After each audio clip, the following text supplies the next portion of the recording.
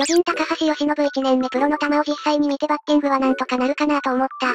高橋由伸境内102試合3割2分5厘23本63打点22盗塁出塁率5割3分7厘強打率5割9分8厘 OPS1.13 を米印6大学リーグ通算本塁打、塁打数歴第1位。高橋由伸巨人打率2割9分1厘321本塁打986打点。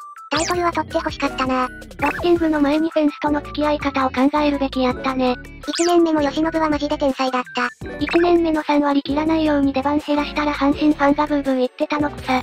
そんなせこいことしてたんかくさ。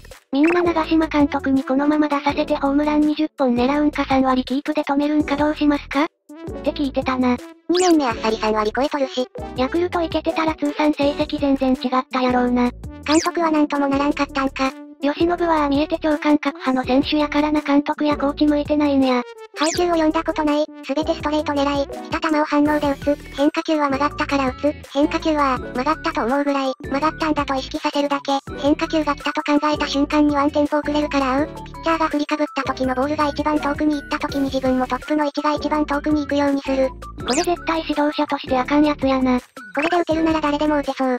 これの最後と同じこと少年たちに言ってて草生えた。最後はザップかな。ただ同じ感覚のやつには合うみたいな話があるなセゲオとかおかわりの意味不発言もガツンと突き刺さる相手がいたし。一番高橋由伸の打線好きだったあの年は MVP 取ると思ってたんやけどな。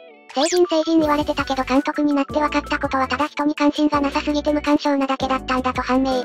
周りの人間が濃すぎたからしゃあないボス猿の一匹になるか人と関わらないかしかない。慶応卒の天才打者っていうイメージをそのまま形にしたみたいな選手ですごい憧れたな。フェンスとお友達になるまで松井秀也ペタジーニのホームラン数上回ってた化け物。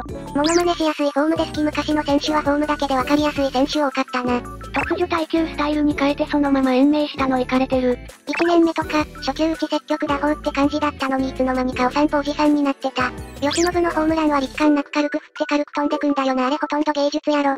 調子悪い時フォーム変えてホームラン打ったら長島に怒られた話。吉信って高校時代からすごかったの？大学で伸びたん？高卒でもドラ1は確実だった。高校時代から注目はされてた進学したいって本人の意向で指名はされなかった。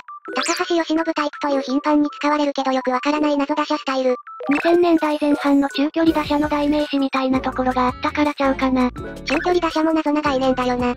野村に言わせると清原も中距離打者だし。ボールの飛びとか時代によって変わるから普遍の定義はないなあの頃は30本打っても中距離みたいなイメージやったし。どんでんも阿部は中距離打者で寸力が長距離法って言ってたなバット振った時の手首の返し方に違いがあるって自分でバット振って解説してた。守備に発するしすぎなければもっと打てたやろな。